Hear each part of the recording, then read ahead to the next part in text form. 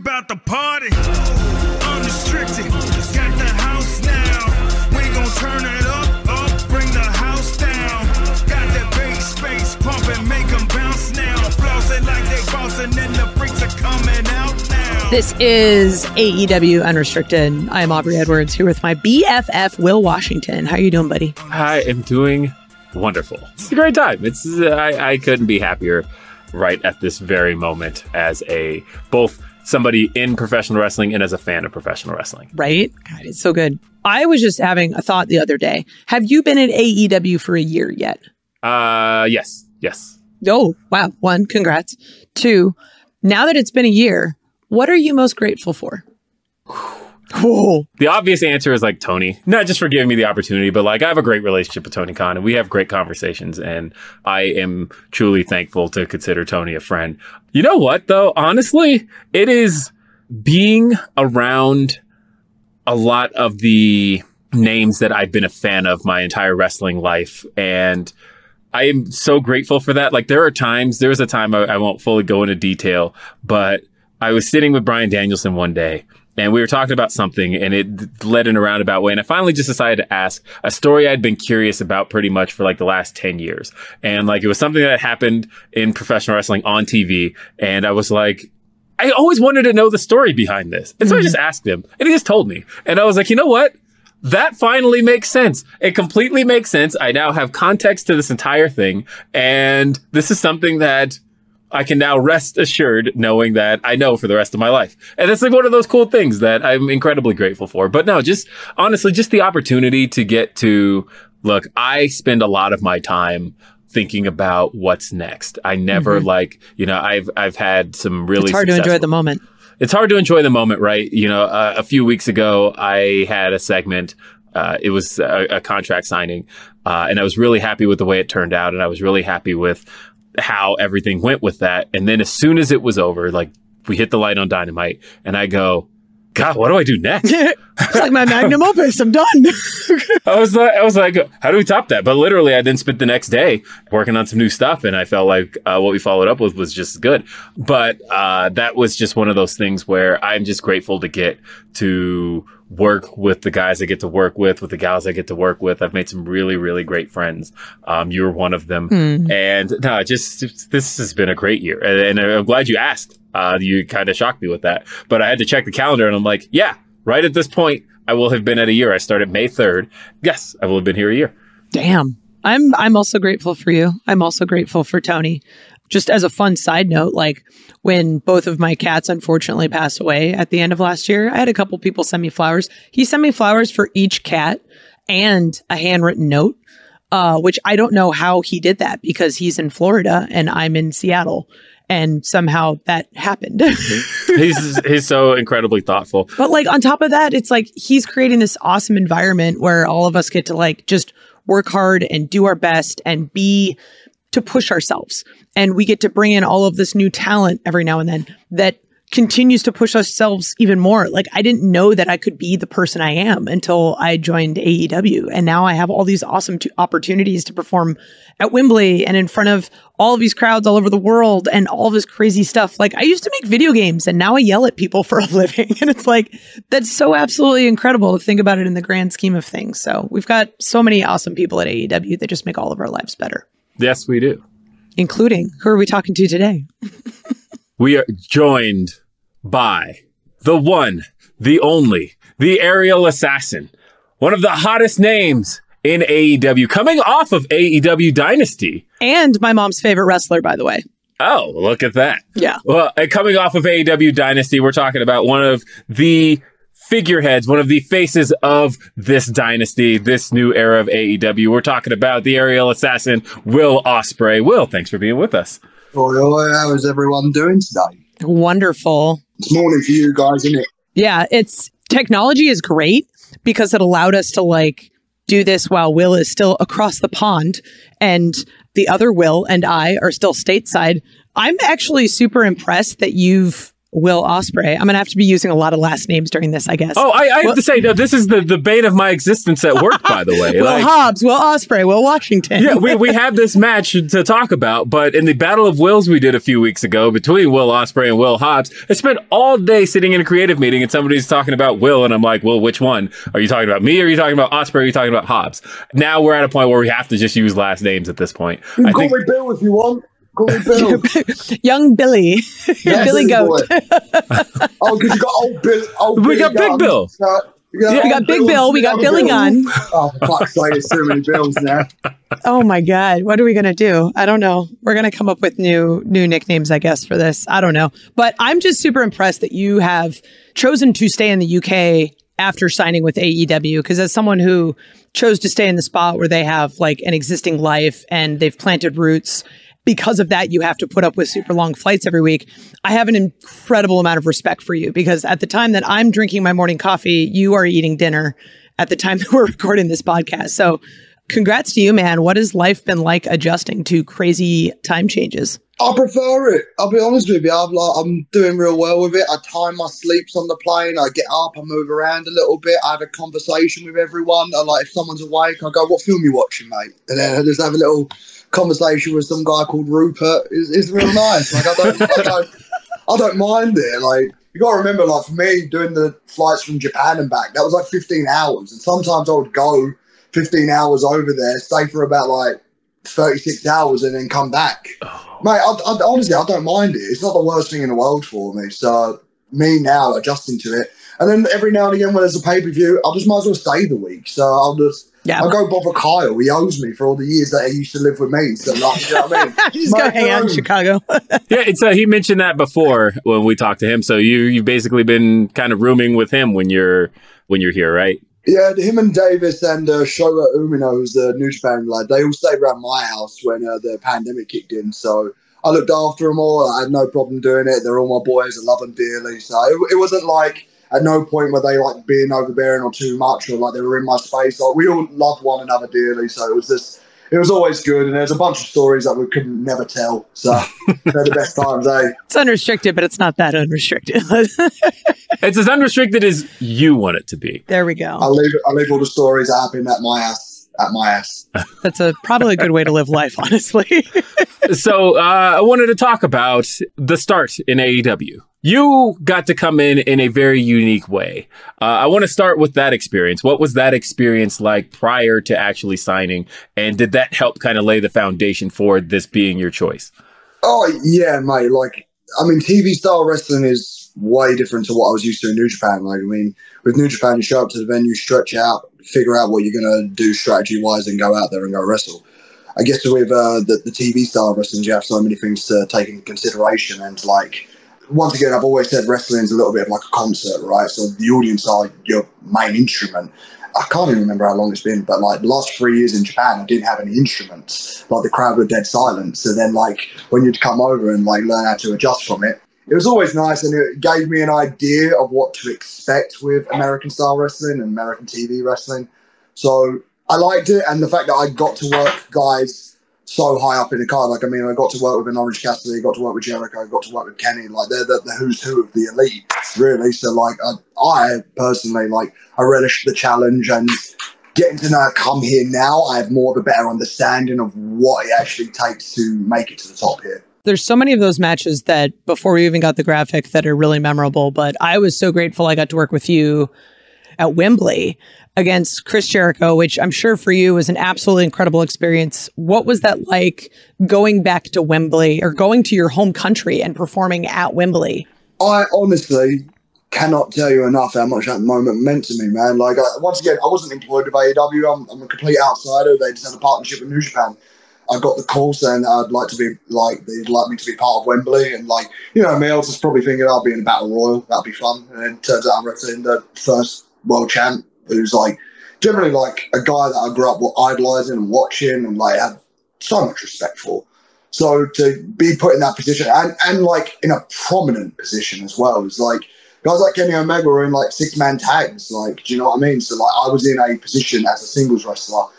And uh, the day before I was wrestling in Rev Pro where they done one of their. I, I don't know if it was their largest attendance, but I, I think it was about like four thousand people there. So it's not even five fucking percent. It's not even five percent of what was in Wembley. So then my mind started playing tricks on me. I was thinking like, none of these people are even going to know who I am. Like I've travelled up and down UK numerous of times, so many times, but like every single time, like you might wrestle in front of a new person for the first time. I can't tell you how amazing it was to the moment that elevator started hitting, like the da da da da da da, and people like reacted, and I could hear them.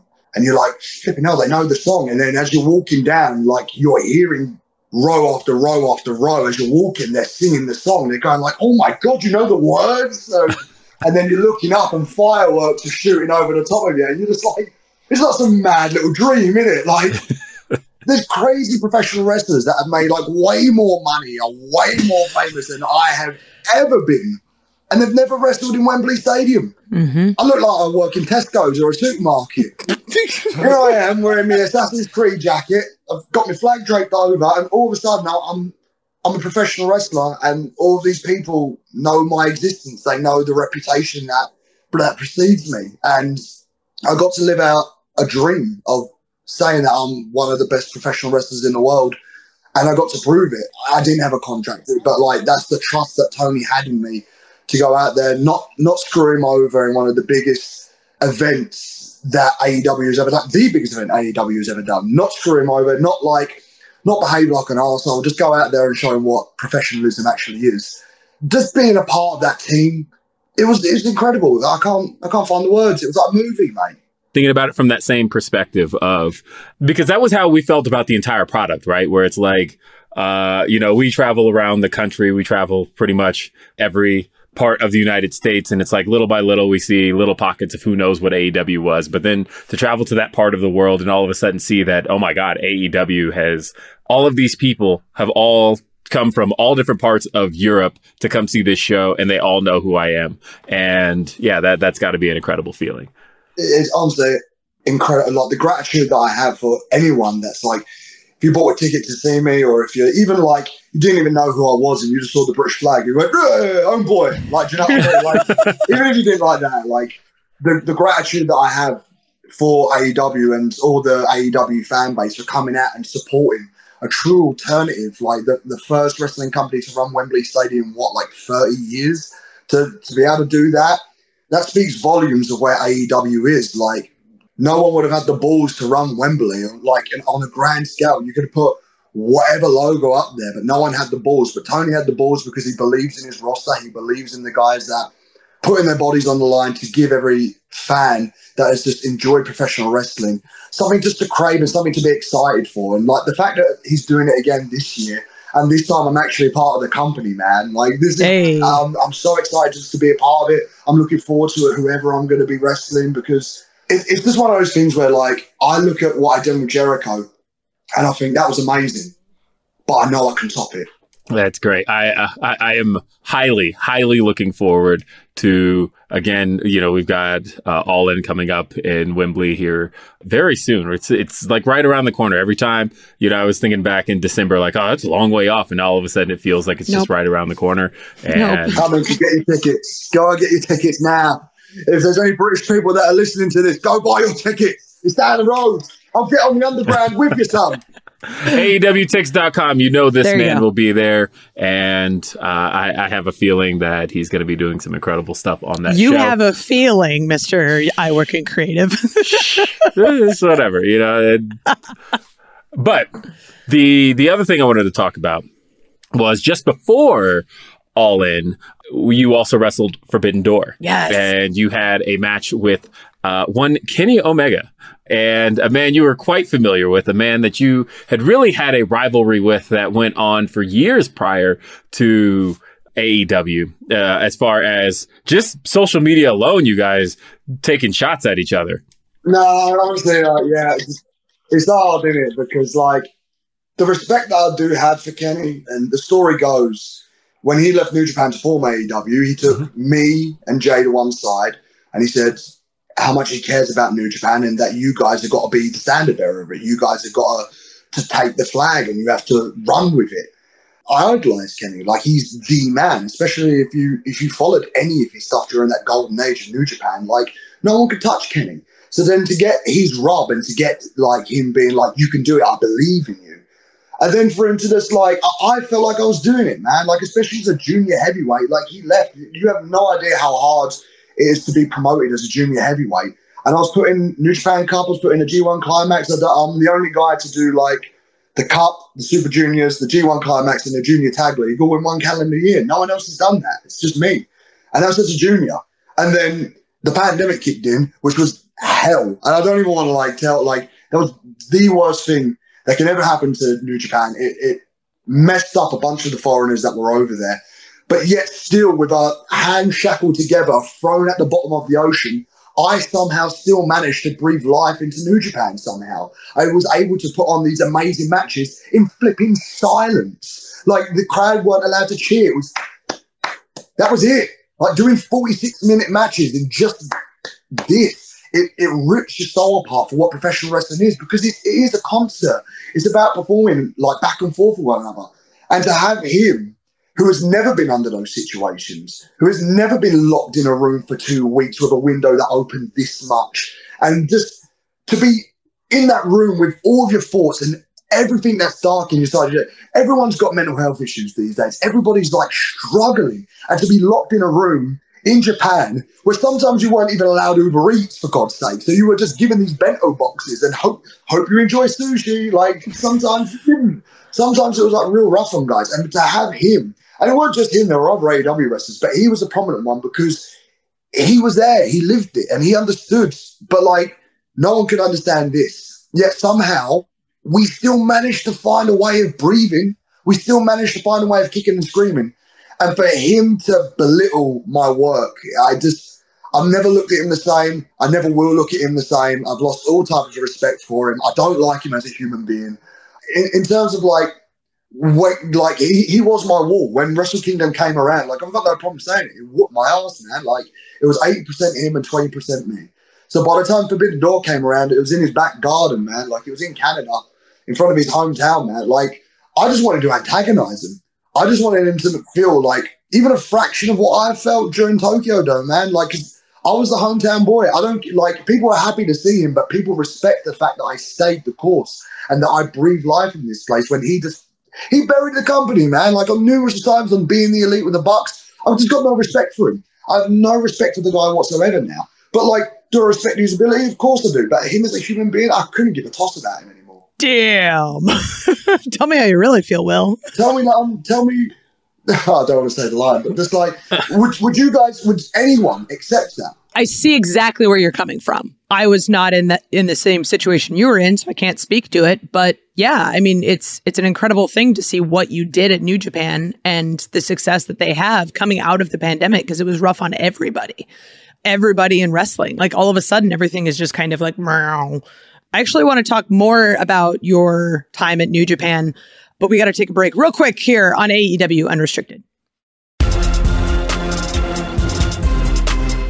AEW Unrestricted, Will, Will, and Aubrey. I'm the only one not named Will on this call, but we're having lots of fun chats with one of our newest signees and newest additions of All Elite Wrestling. I say new like it was yesterday, but like you feel like you've been here since the beginning with how much he got his All Elite graphic in November. So like even that that was like yesterday. Yeah, it was like yesterday. I have no idea where I'm flying week to week. Whatever. It's just like I still write accidentally write 2022 on everything. So whatever. Screw it. Uh, we talked a little bit about your time in New Japan and, you know, through the pandemic and all of that. But you and I actually had a conversation recently where I had said, you were in New Japan longer than I have been in wrestling. And eight years is a long time. What initially brought you to Japan? Because you were still very early in your career, I think, at that point. Yeah, I mean, Revolution Pro Wrestling would do joint shows with New Japan, uh, like Global Wars, and mm-hmm. um, I, I just got lucky, man. Like AJ left. I, I wrestled Okada on a show in Reading in back in like 2015, and you just couldn't have like put like a better puzzle piece together. I had, I was against Okada, so he was the world champ. I had Gedo ringside, who was the booker. I had Tiger Hattori, who was the guy in the office, and I had Tanahashi peeking back through the curtain, going, "This kid's great!" Like, so I, I had like the perfect formula. And at first, it was just going to be like, uh, we're just going to bring me in for Super Juniors, which I was absolutely fine with. That was my dream. Like, I, just wanted to go wrestle in Japan and do the Super Juniors. But then AJ left, Doc Gallows and Karl Anderson left, and Shinsuke Nakamura left. So there was this big hole, and they needed a new junior heavyweight star. And then in comes this pillock, and then uh, they was like, and I, I was always like real thankful because AJ put me over to uh, the office and said like you should get Will to come in, and that's my hero, man. Like AJ was like the sole reason I started wrestling. I joined New Japan in 2016. I, I often forget it so much, man. I was there for eight years of my life. I still feel like a 22 year old now, but like I'm not. I'm 30 and I feel my knees and my back all the time. You know, again, you talked about that being a, a, the bit of the Renaissance period for for New Japan, and uh, and really, you know, that was a period where Kenny Omega and Okada and all of those guys really were kind of the centerpiece and the the focal point of New Japan Pro Wrestling. But you were creating so much buzz. Did you really feel at that moment what you were starting to accomplish? I feel like I was learning the trade at first because once again, like when you step into New Japan, it is a different territory. I'm not just wrestling just to get gifts and clips now. I am learning the trade of what professional wrestling is and learning a business. And not only that, but like learning bits about myself, like learning how to be a man. I have no problem saying it, but like I really struggled because I feel like I was I was searching for who I was myself and like my opinion should have been heard. But the reality was, no one gives a fuck about my opinion. I should just get my mouth shut all the time, and I, I, wouldn't have ended up in a lot of the trouble that I was in. But I feel like I, I found out so much about myself, learning from my mistakes and learning like I, I like how I, I messed up, and I I let a lot of fans down with my behaviour and my immaturity. That by the time that 2019 started coming in, I learned the trade of what professional wrestling was. And like I wrestled guys like Shibata and Kushida and Hiromu, Okada. But then it was like Kenny was rumored on leaving and they were edging me towards the heavyweight. So they were like seeing that I was almost like dominating the junior heavyweight division. And they were like, okay, like he's got the size, he's tall, like see what you can do against our heavyweight division. And I was like, I was swimming in these waters, like to my surprise as well. I was I was doing very well at it. And it was when I wrestled Ibushi at Wrestle Kingdom and I won the never open weight title. And then it was just from there, just plain sailing. I really found my footing in it. It was just a nice, slow rise. Like 2019 was incredible for me, and I was still a junior heavyweight. I think the first time I actually was introduced to you was your match with Ricochet back in 2016.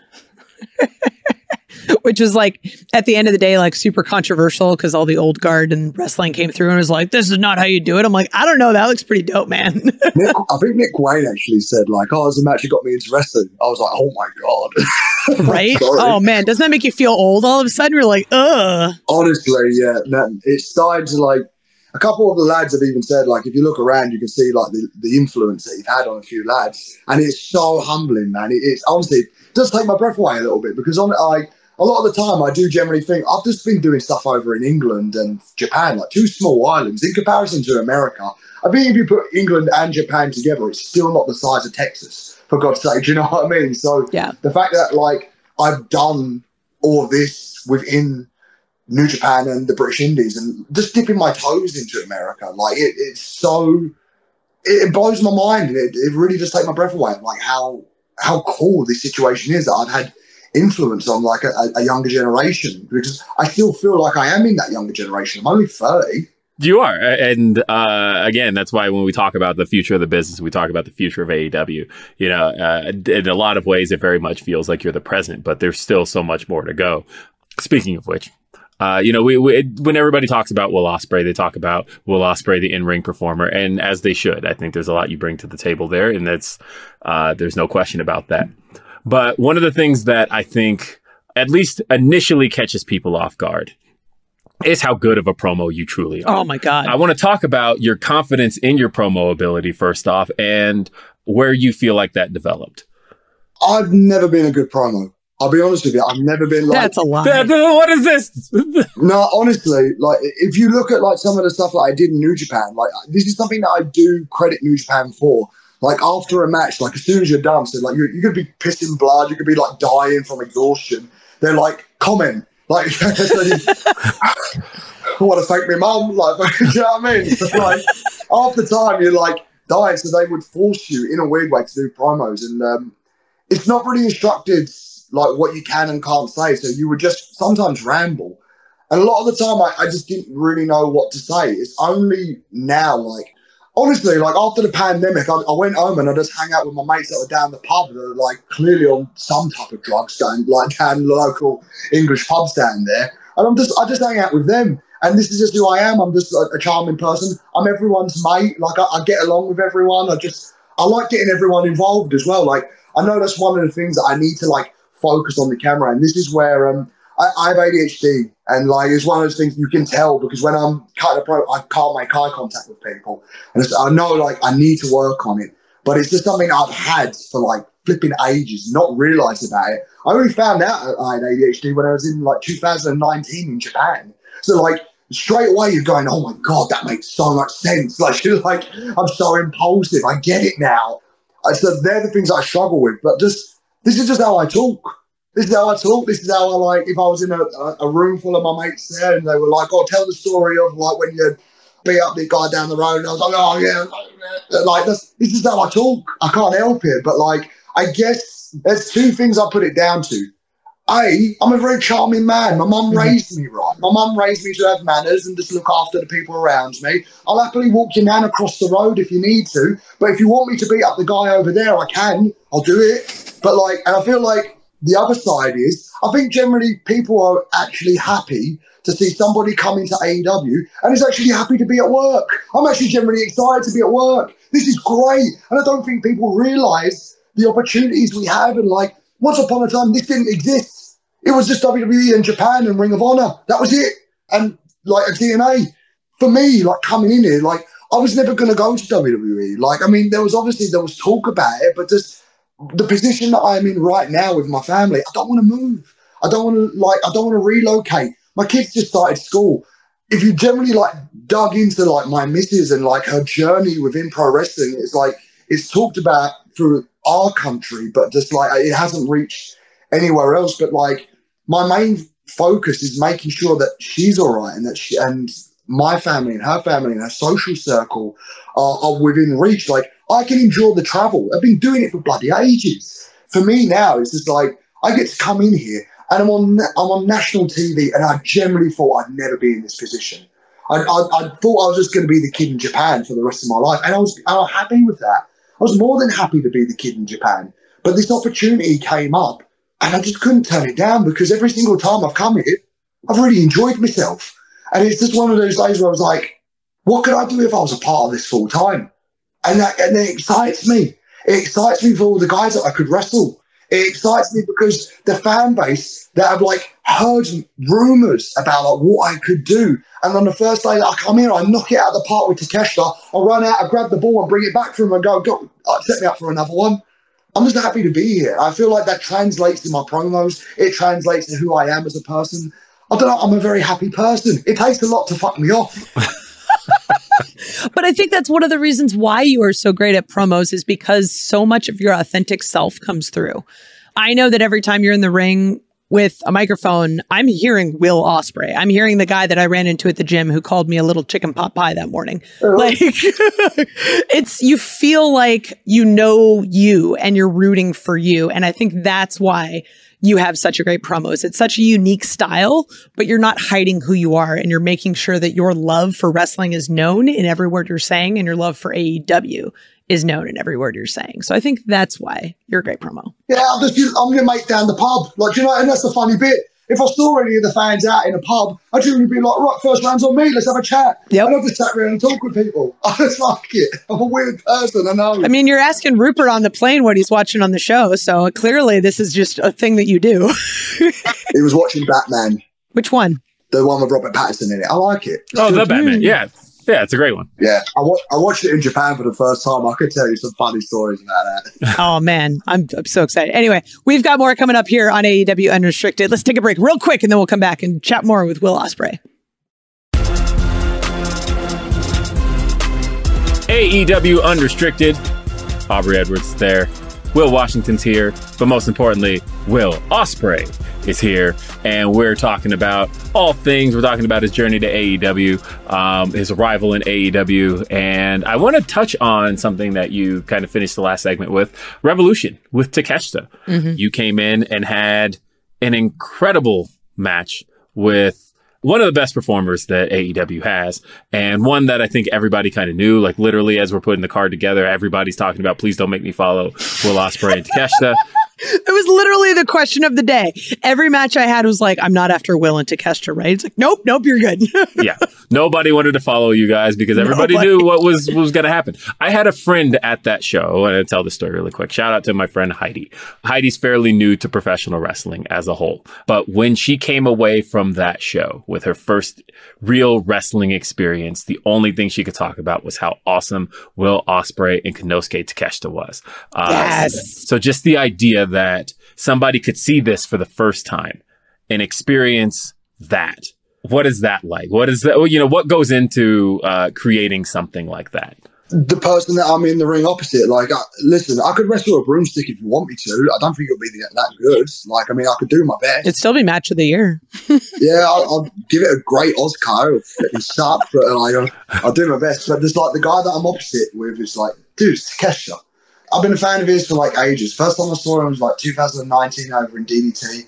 I straight away knew it. I was just like, this guy is incredible. He's like one of the best wrestlers that I've ever seen. I've been a fan of him since. I just never thought we'd ever wrestle one another. It was only when AEW came in and they got him and we started working together in, in- within the Callis family. I was like, this is great, but like, the only way we're going to get better is if we test each other, if we wrestle one another. And obviously, that idea was thrown around for my debut. I just couldn't think of a better way to debut because it was just like, all right, 25 minutes, what you got? And it was just like, you ain't seen nothing yet, bro. Oh So I just- I just went out there with him and I just think we both, it was just like a shake hands afterwards and just whatever happens, happens. But fuck me, my arse after that Oh. match, mate. I, had, I, I will say it till the cows come home. That is the most painful thing that has ever happened to me in a match ever.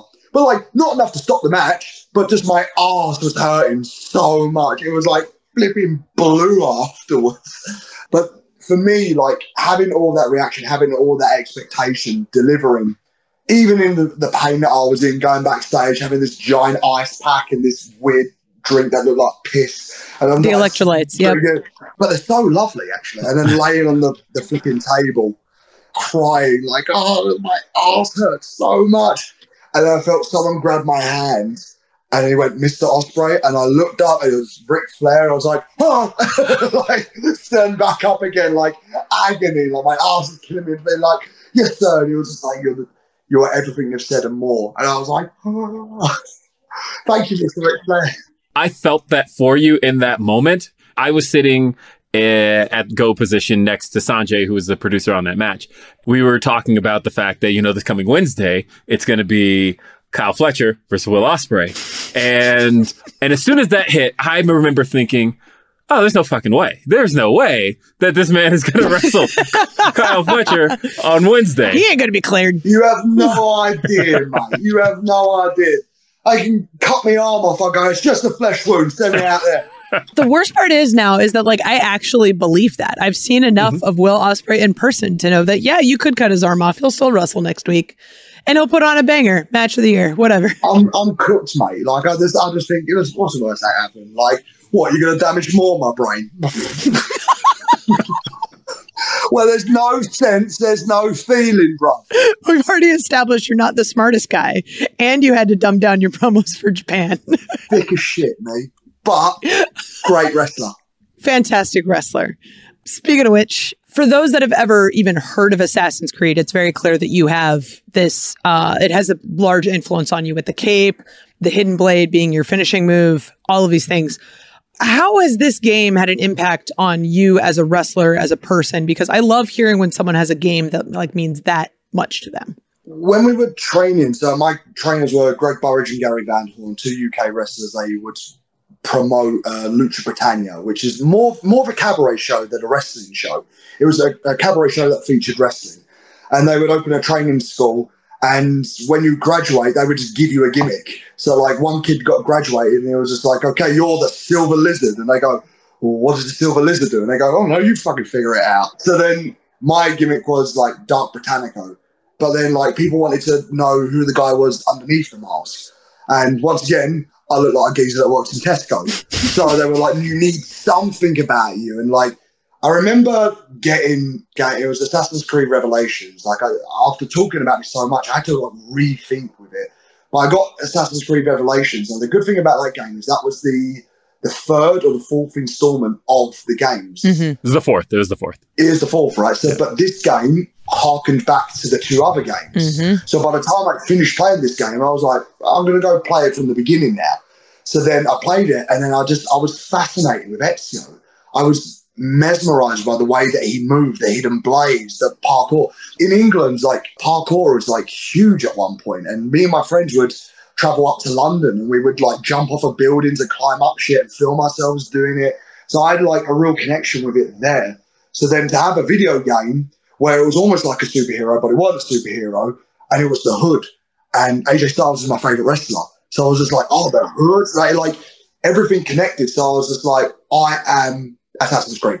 And it's like, I went out on the hoods and like the whole method behind it was Greg was just like, like you have six seconds to win a crowd over. The Mhm. moment you walk through a curtain, you've got six seconds to to really be a part of it and to really get their attention.